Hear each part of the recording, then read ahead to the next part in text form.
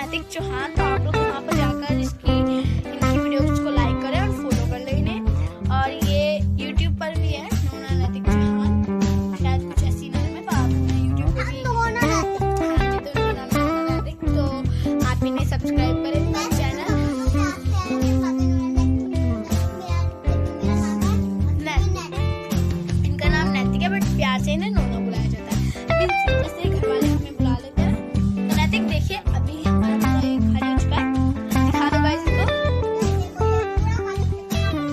सो hmm. अब हम इसे थोड़ा सा खाली कर लेंगे नीचे वाले को।